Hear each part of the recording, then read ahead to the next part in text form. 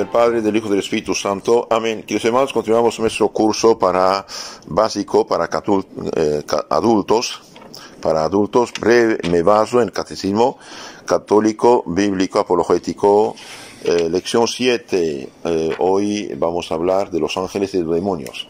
Hemos visto que Dios de la nada, con su poder y su inteligencia infinita, ha creado todas las cosas visibles e invisibles y entre las cosas invisibles tenemos unos seres que sí existen, pero que no son materiales, lo que llamamos los ángeles. Eh, los ángeles, ¿qué son? Son espíritus puros creados por Dios para su gloria y su servicio. Espíritus puros, es decir, sin materia, ¿eh? sin materia, creados por Dios para su servicio y su gloria. La palabra ángelos, eh, malajo en arameo, ángelos en griego, significa mensajero mensajero, ¿eh? mensajero de Dios. Es un nombre de la función, ¿eh? mensajeros de Dios. Pero los ángeles son puros espíritus. ¿Qué significa puros espíritus? Significa que no tienen materia, ¿eh? no, no es materia. Por lo tanto, cuando muestra un ángel con alas, con espada, con pluma, con ese, no, eso no, no, es así. Es manera, manera de hablar de ellos. Alas significa el ángel, por ser espíritu, puede actuar, moverse muy rápidamente de un lugar a otro de un lugar a otro. Y la fuerza, la espada, que tiene fuerza, etc. Esto significa, ¿sí? Entonces Dios creó a los ángeles, eh, todos los creó, a los ángeles buenos, los creó buenos y los dio, les dio la santidad, lo que llamamos la gracia santificante, ¿sí? Les dio la gracia santificante, la fe, la esperanza, la caridad. Eh, les dio todo esto al momento de crearlos. Entonces los ángeles, todos, fueron creados en estado de, de gracia, de santidad. Pero, por desgracia, una parte de ellos va, eh, va a fallar a Dios y otra va a quedar fiel a Dios. Los ángeles que fallaron a Dios se, llaman hoy demonios y los ángeles fieles los llamamos, ángeles. Entonces Dios creó todos ángeles buenos, santos, ¿sí? ¿Qué pasó? Hubo una prueba, cuáles realmente no sabemos, eh, no sabemos, unos dicen, unos dicen, pero no está revelado por Dios, que Dios les reveló que un día hacerse hombre, que tienen que adorarlo, y entonces Lucifer, un jefe de los ángeles, no, no servía, no serviré, posible, pero no, no está revelado. Lo que sabemos es que Dios los creó santos, los creó buenos, pero una parte va a perder la gracia y la santidad y va a eh, pecar de rebeldía, de, eh, va, va a hacerse eh, demonios. El otra parte va a quedar fiel a Dios, ¿eh? va a quedar fiel a Dios. Y su jefe, San Miguel Arcángel, dijo, mi ángel, ¿quién como Dios?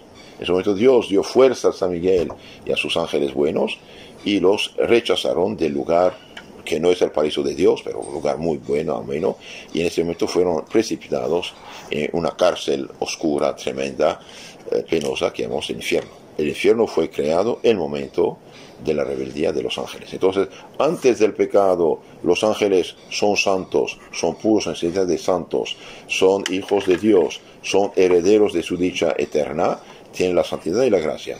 Antes, después, eh bien, son pecadores, son enemigos de Dios, son destinados al infierno eterno y son enemigos rabiosos eh, de, de, Dios y de la, de la humanidad. Es algo tremendo.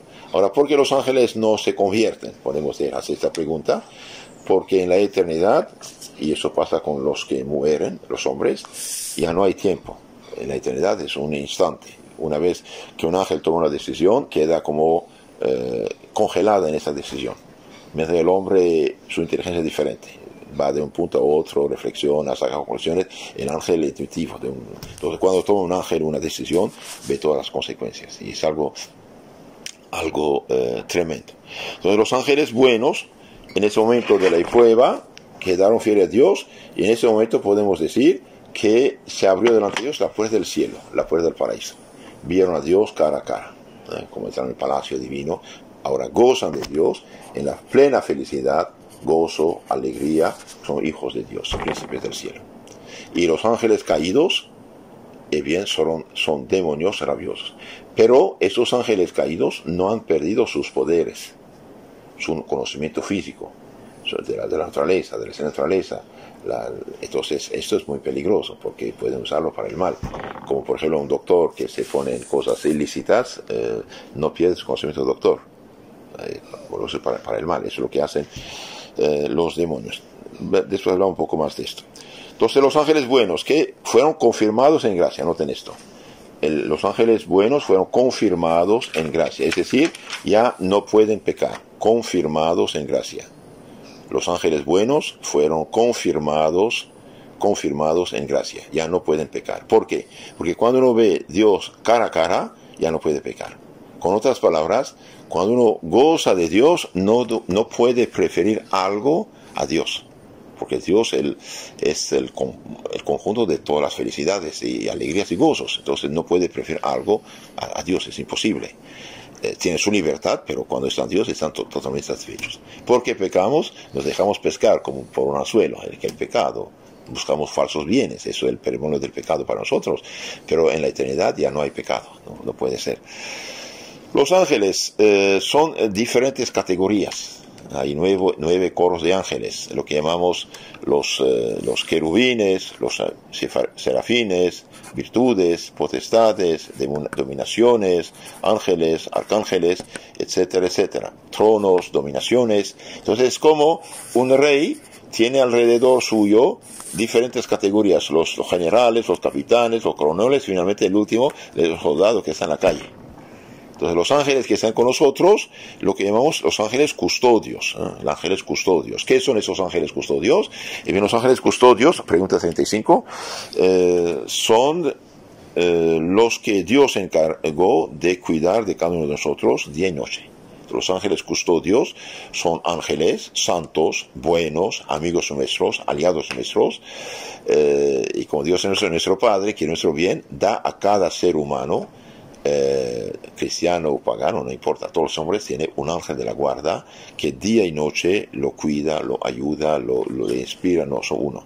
Un ángel de guarda para, para cada uno. Hay unos santos que dicen, unos santos, autoridades tienen, pero es un ángel. Los ángeles custodios son los que Dios ha encargado de cuidar de cada uno de nosotros día y noche son nuestros protectores. Por ejemplo, Salmo 90, 11, Génesis 24, 7, Éxodo 23, 20, Judith 13, 20, Tobías 5, 21, Daniel 3, 49, etcétera, etcétera. San Mateo 18 dice, dice, cuídense de escandalizar uno de esos niños, porque sus ángeles custodios ven siempre la cara de mi Padre eh, Celestial. Entonces, todos tenemos la dicha de tener un ángel custodio a nuestro lado.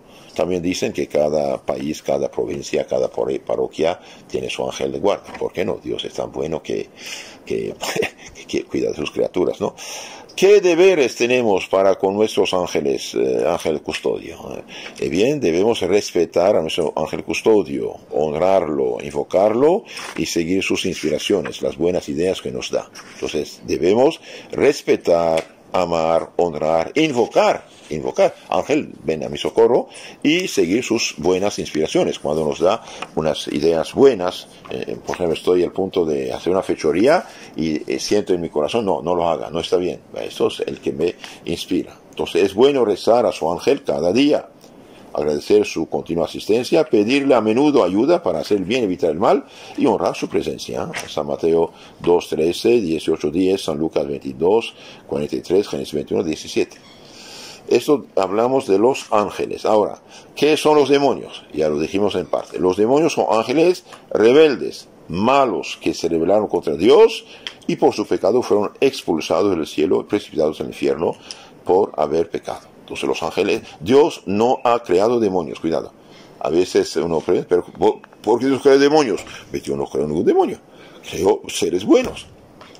Su naturaleza es buena y su obrar es malo. Es el problema. ¿Por qué? Porque tienen la, libertad, la voluntad libre. Entonces los demonios son ángeles rebeldes, ángeles malos, que perdieron la gracia santificante y que por su pecado fueron precipitados al infierno eh, para siempre. Cuidado, es algo grave. Significa, significa, que el pecado es algo grave, no, no es cualquier cosa. Por un solo pecado mortal, que hicieron de, orgullo, de pensamiento, estos seres queridos de Dios, bien son horribles demonios.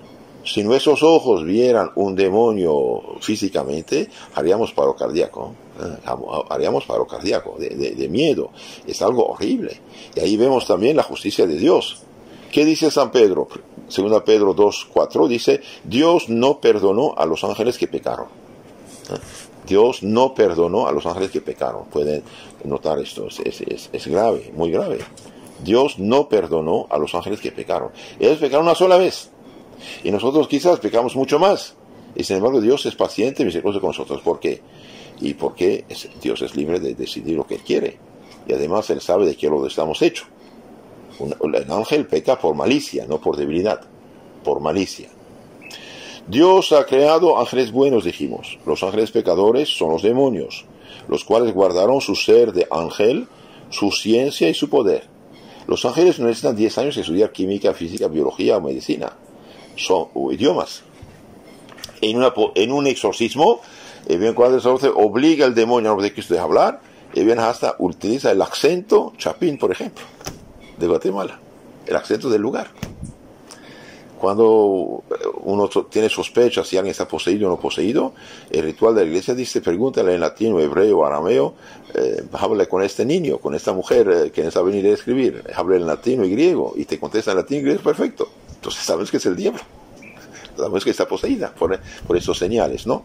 Entonces los em, demonios no han perdido ni su ciencia, ni su poder, eh, ni su conocimiento. Utilizan estos dones para hacer el mal, mediante la hechicería, brujería, santería, las sectas que falsifican la Biblia, las falsas apariciones, visiones falsas, también el ateísmo, comunismo, relativismo, ideas falsas y masonismo, etc. Es, algo tremendo. Es como, como el virus. Los microbios no los vemos, pero existen. Existen. Los demonios sí existen, no los vemos. Eso es lo que hace el problema, que nos, nos tientan. Pero sabemos por revelación divina que eh, tenemos esos enemigos. Ahora, cuando uno cree, sabe y cree, es cauto. Cuando uno quiere creer, es como dijera yo, no hay coronavirus. Ahora, coronavirus, hay, no hay, hay gente que muere. Entonces, eh, hay algo, o sea, hay algo.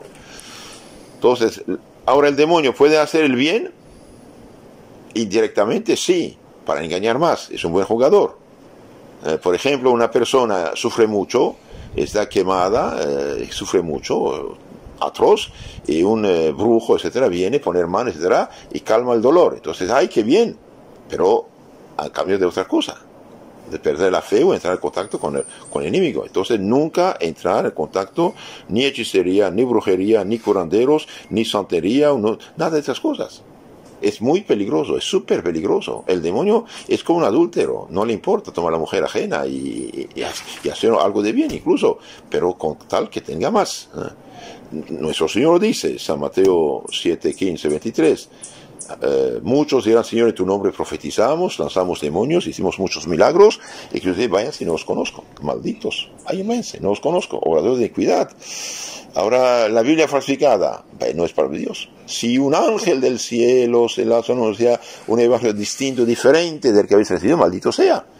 Hoy cualquiera toma la Biblia, falsifica su modo y se hace pasar por mensajero de Dios. No vale. No vale. También segunda, eh, segunda Corintios, segunda Corintios eh, 11, 13, San Pablo dice, esos tales son falsos apóstoles, obreros engañosos, que se pasan apóstoles de Cristo. Y no es maravilla, el mismo Satanás se hace pasar por ángel de luz. También sus ministros. Entonces ahí habla de sus ministros. Es, es, gravísimo. Por eso los católicos nunca deben recibir en su casa nadie de esos predicadores de Biblia falsificada. Es anzuelo. Hoy el demonio se hace pasar por el Espíritu Santo en las sectas, hace cositas maravillosas y como la gente es tan ignorante o curiosa, pues se, hace deja pescar.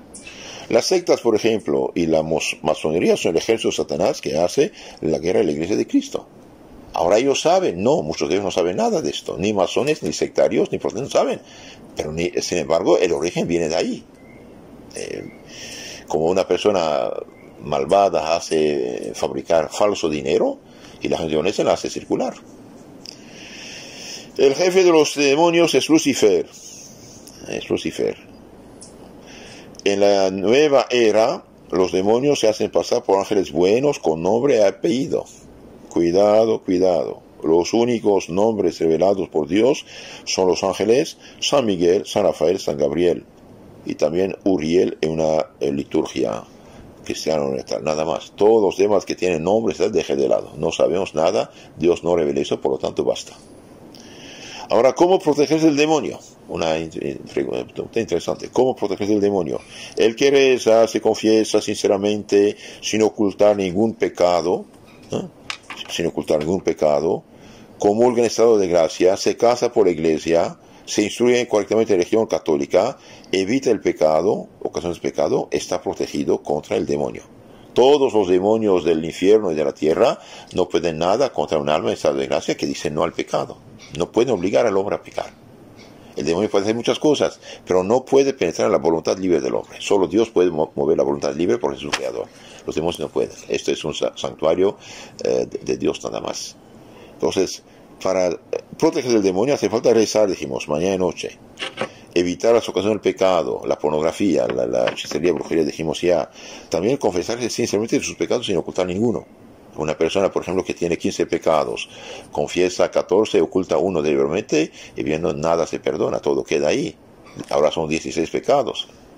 Pero una persona que tiene 20 pecados, eh, confiesa 19, olvida uno, este queda perdonado. ¿Por qué? Porque él quería confesar bien. Lo dice en la confesión siguiente, lo que olvidó se acabó. Pero el que oculta pecados no hay perdón. El, demonio agarra mayor, mayor eh, poder sobre él. El que comulga en gracia de Dios se hace más santo y protegido. Y el que comulga en pecado mortal hace un sacrilegio, come, bebe su propia condenación. Ser tentado no es pecado, eso también es bueno saber.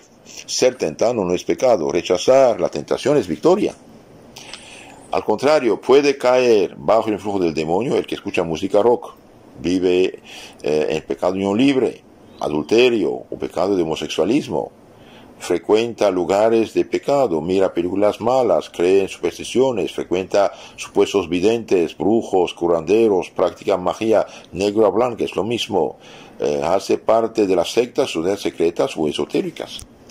Primero, primero Corintios 6 y 9 Tenedlo por dicho, dice, ni los fornicarios, ni los adulteros, ni los homosexuales, ni los rapazas, ni los afeminados, ni los borrachos van a cielo se convierten. Eh, también en Apocalipsis 22, 15, eh, 1 Timoteo 4, 1, ahí habla de, habrá gente que va a enseñar doctrinas de demonios, de ahí las sectas esotéricas actuales que se van a pasar por cristianas, ¿no? Bien, eh, entonces esto, ¿cómo proteger de los demonios? Otra pregunta, última pregunta de selección cuáles son las ocupaciones de los demonios. Y bien, los, eh, demonios se ocupan en tentar a los hombres en este mundo para llevarlos al infierno y atormentarlos el infierno. Tentarlos, tratar de desviar del camino de salvación y caen en el infierno los, los eh, como se llama, se quedan, quedan atormentados. De, de veras es algo tremendo esto de, de saber que las siete puertas del infierno son los siete pecados capitales. La cólera, la gula, avaricia, orgullo, lujuria, envidia, pereza. Siete puertas del pecado. Y cuando cae el infierno, como leones se echan sobre los corderos, así los demonios hacen pedazos sin matar, porque el alma no muere. Sufre eternamente, pero nunca muere. Es el problema. Los condenados al infierno quisieran morir, no pueden. El alma es inmortal por esencia.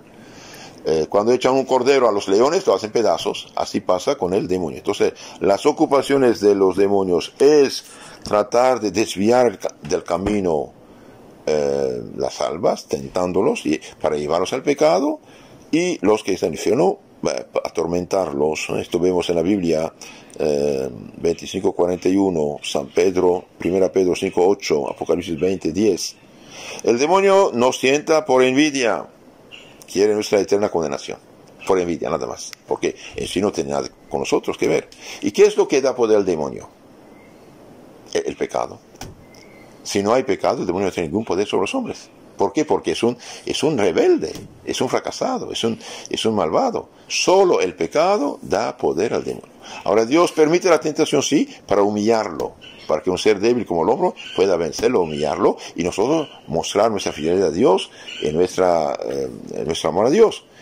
Pero nos dejamos muchas veces pescar por tontos, por débiles, sí, también por tontos, y debido al pecado original somos engañados el mal, sí. El demonio sienta por envidia, dijimos, quiere nuestra eterna condenación, tremendo. Si Dios le da licencia, puede hacernos mucho mal, mayormente tentándonos a pecar. Por eso alejarse de las tentaciones, lugares, personas, cosas que son causa de pecado.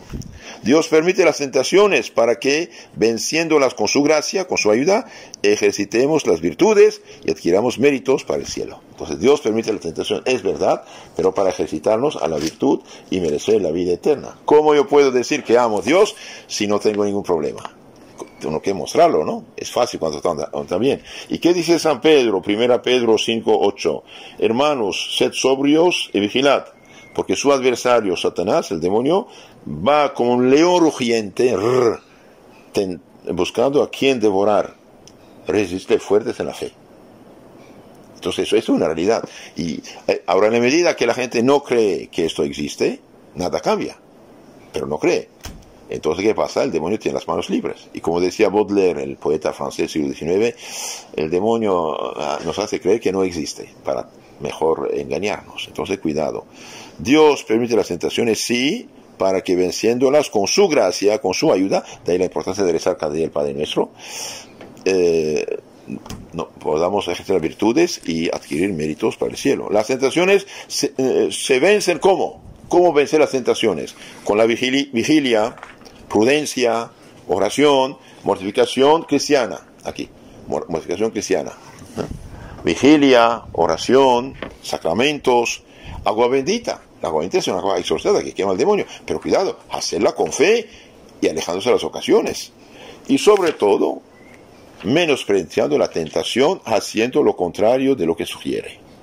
Entonces, el que hace lo diametralmente opuesto a la tentación es victorioso y sobre todo alejarse de las ocasiones del pecado. Si uno no se aleja de la ocasión del pecado, va a caer. De ahí Cristo dice, si tu mano, tu ojo, tu pie es ocasión del pecado, córtalo, arráncalo. Es necesario también cuidarse y no exponerse a lo que es pecado o conduce al pecado. Por ejemplo, malas compañías, internet eh, indecente, impuro, personas, lugares donde uno puede ser tentado y perderse. Un cristiano no tiene nada que hacer en discotecas, bares, lugar de pecado o de casinos o juegos. El demonio es mentiroso. ¿Quién dijo esto? Cristo. San Juan 8:44. Mentiroso y padre de la mentira. Dios mío. Profesional. Miente como respira. Se hace pasar por el Espíritu Santo para engañar a la gente hoy. En todas esas sectas que hacen supuestos milagros, el demonio anda suelto. Santo Agustín dice, únicamente en la iglesia católica el demonio está amarrado ella, ella, es de Cristo. Los demás anda suelto, anda suelto y puede hacer cosas maravillosas para engañar. El demonio es mentiroso, padre de la mentira. Hace supuestos milagros y hace que la gente hable lenguas, curaciones. Cuidado, una curación milagrosa es definitiva para siempre. Si un curado a la semana cae enfermo, no fue curación de Dios. Cuidado. Cuidarse de las sectas también pentecostales, incluso carismáticas, que sacan su origen del protestantismo eh, pentecostal. Eh, San eh, Mateo 7, 15, ¿no? Muchos dirán, Señor, tu nombre profetizamos, lanzamos demonios, hicimos milagros, váyanse, no os conozco. Dios nunca hace un milagro en favor de las falsas iglesias. Cuidado. Dios nunca hace un milagro en favor de las falsas iglesias. El demonio mezcla lo bueno con lo malo bajo su influjo no puede sentirse muy bien y dejar unos vicios, ¿eh? por ejemplo. Ahora, rechazar el pecado es rechazar a Satanás y a sus desgracias. Efesios 6, 12. Bien, eh, hoy por gracia hay mucha ignorancia, dijimos, y el demonio engaña a mucha gente. Terminamos esta lección. Los ángeles que son, son espíritus puros, es decir, que no tienen materia, creados por Dios para su gloria y su servicio los ángeles todos fueron creados en gracia, en santidad. Unos pecaron, llamados demonios, y los otros triunfaron, son los ángeles. Los ángeles buenos son nuestros aliados, son nuestros protectores, y Dios en su misericordia, debido a que dormimos o nos distraídos, nos da un ángel día y noche a nuestro lado. Un papa decía, cuando tengo un negocio importante que tratar con gente, yo rezo al ángel del otro. El mío, el ángel, para que lo se ayude. Y de hecho muchas veces los ángeles se manifestaron. Tobías, por ejemplo, Rafael Arcángel lo, lo acompañó en largo viaje, lo, lo ayudó, a todo el demonio, lo casó con la mujer Sara. Eh, Don Bosco un día fue atacado por unos malvados y de repente querían cubrir su cara con un saco, ¿no? con una costal negro, no sé qué, para secuestrarlo, no sé. Y de repente, Don Bosco era un santo, ¿no? De repente salió, invocó a la Santa Virgen, Madre, ayúdame. De repente salió, no sé de dónde, un perro gris y se lanzó todo el cuello del, malhechor. Entonces el otro tuvo que de, pelearse con el perro en lugar de con Don Bosco y Don Bosco pudo libertarse y, el malhechor dice, Don Bosco, Don Bosco, por favor diga a tu perro que me deje. Y Don Bosco nunca vio ese perro, no sabía quién es. Gris era su color. Di, gris, déjalo. y lo gris lo dejó. Después el gris siguió Don Bosco hasta el convento, le dieron de comer, nunca tomó nada y desapareció. Y cada vez que Don Bosco estaba en problema, aparecía este perro gris. ¿Qué puede ser? Puede ser su ángel de la guarda. Santa Francisca Romana, por ejemplo, venía su ángel de la guarda en, forma de un, jovencito subdiácono hasta podía leer sus oraciones con la luz que emanaba del cuerpo aparente. Ahora, a veces los ángeles pueden aparecer bajo forma humana, bajo una forma que nosotros eh, pensamos, pero no son. Eh, el arcángel San Rafael apareció bajo forma de un joven eh, judío que llevó hasta su destino y regresó a, Tobías el joven. Entonces, todos tenemos ese ángel honremos nuestro ángel custodio, invoquémoslo y eh, seguimos sus inspiraciones. Y hay una oración muy bonita que dice, Ángel del Señor, que sois mi custodio, por un especial favor de divina caridad para conmigo, dignaos iluminarme, ampararme, guiarme, gobernarme. Amén. Leí un libro, un día había primeras comuniones, después de la comunión, misa, comida, las niñas fueron, eh, estaban en un, gran jardín, fueron bajo eh, jugar y de repente vino, una tempestad. Entonces refugiaron bajo un árbol, bajo un árbol grandote. Y de repente una niña dijo, vámonos. Y la otra, vámonos, dice. Y la, otra no quería. Entonces se fue corriendo la muchacha, se fue corriendo, y las demás la siguieron. Y cuando salieron de allí, vino el relámpago y destruyó totalmente el árbol. ¿Quién dijo vámonos? Un ángel que, que, ve las cosas, que sabe las cosas. Entonces, invocar nuestro ángel y respetar su presencia. ¿eh? Respetar su presencia es algo importante.